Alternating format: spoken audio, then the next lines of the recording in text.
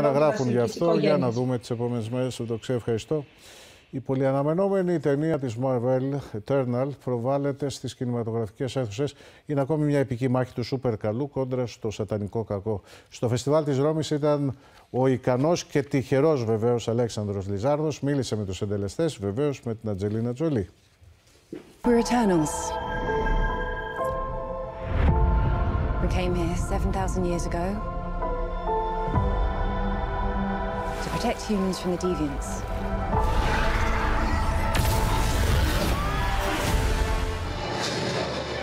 Η ταινία Eternals ξεκίνησε να προβάλλεται στην Ελλάδα στις 4 Νοεμβρίου. Η πρεμιέρα της στην Ιταλία έγινε λίγες μέρες πριν, στο πλαίσιο του Φεστιβάλ της Ρώμης. Θέμα της ταινίας, η αιωνιότητα και η διαχείρισή της. Σε αυτή την ερώτηση απάντησαν όλοι οι παρευρισκόμενοι συντελεστές. No, I don't want to live forever. I'd be, I think 80 or 90 is a good number and then just be done. I think life's kind of better when things are finite. If, if it just goes on and on, you kind of lose a bit of the joy. Give me a good run, but then cut it off.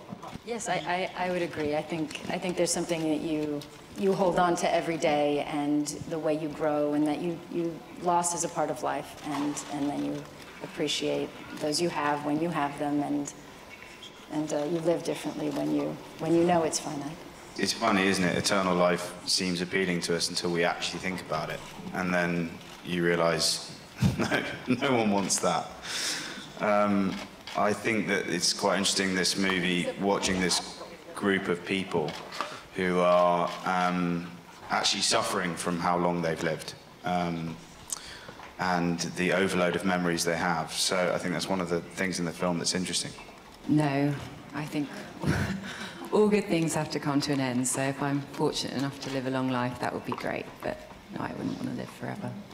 In case you're curious, I want to live forever. Sorry. You can't protect.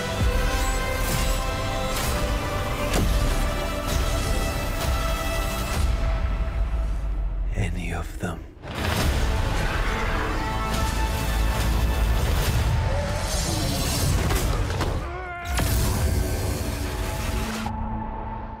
Όλα τα λεφτά χθες ήταν το